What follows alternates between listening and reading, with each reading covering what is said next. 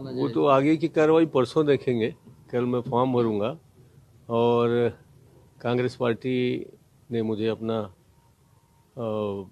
नामांकित किया है और मुझे बड़ी खुशी है इस बात की कि धर्मजीत जी जो योगी जनता दल कांग्रेस के हमारे नेता चुने गए हैं उन्होंने मुझे समर्थन दिया है प्रस्तावक बने हैं और ये बड़ी अच्छी परंपरा है।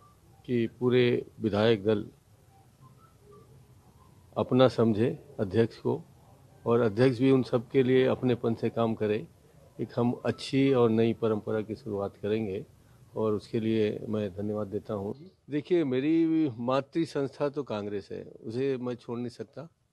मगर जितने भी दल हैं, चाहे वो भारतीय जनता पार्टी हो, चाहे योगी कांग्रेस हो, चाहे बीएसपी हो, उन सब के साथ मैं समान व्यवहार करूँगा।